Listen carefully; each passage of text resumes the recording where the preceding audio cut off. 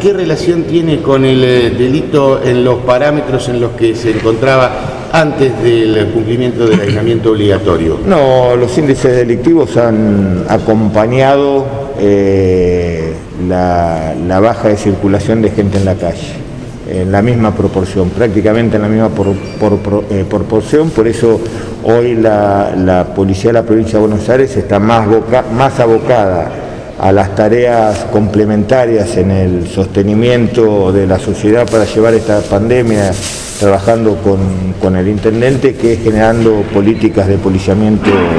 este, predictivo. Al comienzo de la cuarentena hubo situaciones violentas en las unidades penitenciarias como intentos de motines que pudieron ser eh, sofocados. El hecho de que se haya permitido a los reclusos usar teléfono celular, ¿sirvió para morigerar en algo este clima interno y qué visión tiene usted? Sí, yo creo que el trabajo que hizo el ministro de Justicia, el doctor Alac, en ese sentido fue muy intenso, fue muy importante, fue muy responsable.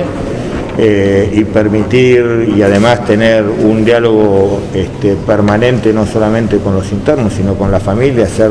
este, entender cuál es la situación de gravedad ante el ingreso del virus en una penitenciaría y las secuelas que eso generaría fue muy importante y este, hoy, gracias a Dios, y por eso digo hoy, a esta hora, eh, estamos relativamente bien. Esperemos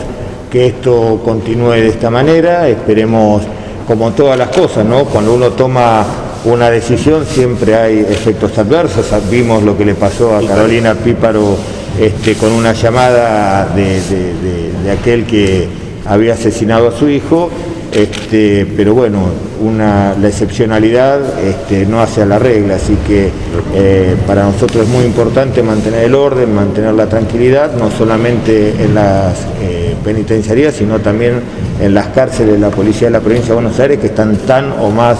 eh, saturadas que las penitenciarías.